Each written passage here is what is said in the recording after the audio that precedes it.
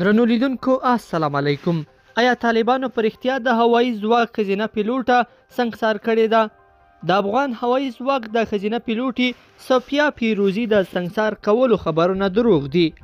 اغلی پیروزی رسنیو ته ویلي چې د طالبانو لخوا د هغې سنگسارول دروغ او اپوهات دي نوموړي زیاتوي چې دا اوس له افغانستان څخه وتلې ده او په امن سیمه کې ده نن سهار ځینو رسنیو داسې خبرونه خپاره کړل چې ګواکې سوفیا د طالبانو لخوا سنګسار شوې ده دغې پیښې ته تر اوسه طالبانو هم کوم غبرګون نه دی ښودلی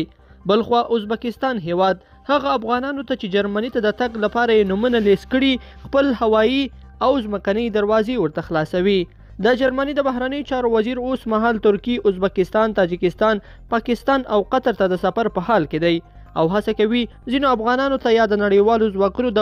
وتلو د مهلت تر پوره کېدو وروسته د کابل له هوایي ډګر څخه په الوتکو کې او یا د ځمکې له لارې د وتلو پر امکاناتو له چارواکو سره خبرې اترې وکړي. بلخوا پاکستاني چارواکي هم هڅه کوي له برتانیا او نورو غربي هیوادونو سره ورته توافق وکړي بلخوا په سبا په افغانستان کې د امریکا د تاریخي تر ټولو وخت پوځي ماموریت پای ته رسیږي امریکا په افغانستان کې د پوځي ماموریت په پای ته رسیدو سره د کابل له هوایي ډګره په پوځي الوتکو کې د خپلو اتباو او همکارانو د ایستلو چارې هم پای ته رسوي لیدونکو په دې هیله چې دا مطلب به مو تر پایه لیدلی وي که ما دا ویډیو خوښه شي ویډیو لایک کړئ او چینل سبسکرایب کړي تر بلې ویډیو پورې ښه وخت.